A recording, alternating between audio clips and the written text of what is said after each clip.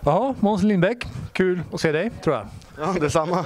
Tack. Eh, ja, ni spöade Södertälje nere i, i Jönköping då. Eh, serieseger också, det får man gratulera till. Eh, ta oss igenom matchen till att börja eh, Nej men det är väl en eh, första period där vi kanske kom ut lite, lite svagt. Eh, kom inte igång riktigt. Eh, de får kontra mycket på oss, får, får många 2-1 där vi blir, blir lite slarviga i offensiv zon. Eh, ja, andra perioden eh, Ja, ja, men där var vi väl starten på den var inte jättebra men sen tar vi en timeout och mm. steppar upp efter den och, och framöver över matchen då.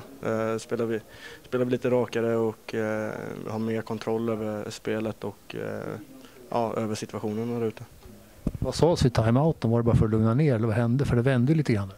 Nej men det var väl mer, vi vet ju vad vi, vad vi kan. Mm. Eh, liten svårighet idag att spela mot ett lag som har väldigt mycket att spela för. Eh, eh, ja, vi har vunnit serien redan. Eh, men eh, ja, det är en eh, läropeng för de två sista matcherna för oss att eh, hitta fokuset och eh, ja, följa, följa vårt spel och vara den maskin eh, vi kan vara.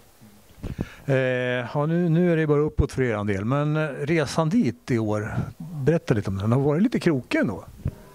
Ja, nej, men vi har haft utmaningar. Vi, vi har ett bra lag och det har varit en eh, stor konkurrens i, i laget och eh, det har varit tuffa träningar men vi har haft en, eh, en tydlig målbild från eh, dag ett eh, som vi har jobbat efter. Eh, din, ja, hur har du kommit in det här, i det här, det här året? Du, du har kämpat in det här känns det som.